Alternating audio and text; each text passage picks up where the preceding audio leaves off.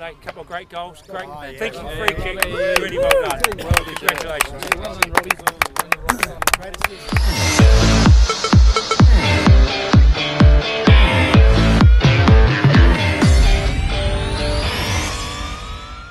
Continuing with another episode of Shenanigans on Rozelle TV. I'm here this afternoon with Robbie Galic on Birchgrove Oval. So how did you go this afternoon, Robbie? Gerard, I thought we did a uh, we had a good game. We played really well. Uh, we did a lot of running for one another.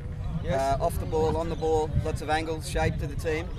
So tell me this, who did you play? Uh, we played Abbotsford. Abbotsford and what was the score, final score? Final score was 3 0. 3-0. Good, Yeah. good, good solid win there. It was. We were So two up at half time. You're two up at half time. Yeah. Now tell me this, how did the first half go? Did you feel it was an easy win or did uh, how did how did you feel Abbotsford I actually played? think I think Abbot, uh, Abbotsford uh, played really well and they were keeping a very high line and keeping us honest up in the middle of the park. And um, so right up until we scored the first goal and even the second goal, they were still in there, uh, and looking to come back and playing the same method of high line. You know, Very good. So tell me, Robbie, yeah, you got man of the match?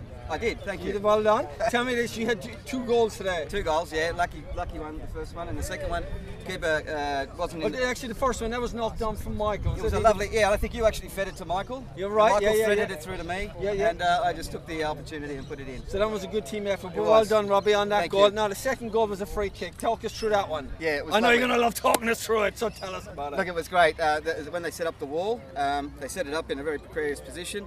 The referee actually was in the space, the only space left to hit it. When he stepped out of the way, that was the space I was, I was going, and uh, and that's where it went, straight into the net.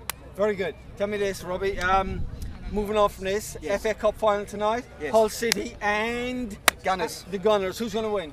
I'm going for I'm going for Hull. You're going for Hull. I need an, we need an upset, and uh, and I think they deserve it. They're a, they're a good old team, um, and Arsene Wenger's done his dash, I believe.